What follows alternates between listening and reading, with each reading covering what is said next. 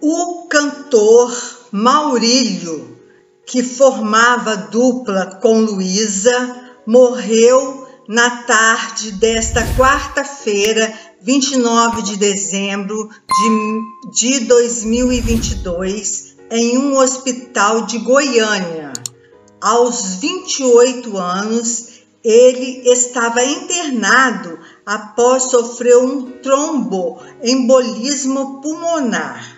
Mais cedo, um boletim médico informou que ele teve piora nas últimas 12 horas após ter quadro de choque séptico.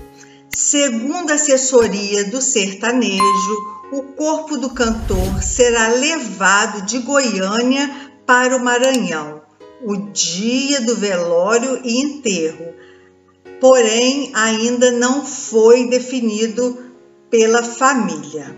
Maurílio foi internado na madrugada do dia 15 de dezembro, após passar mal durante a gravação de um DVD de outra dupla sertaneja.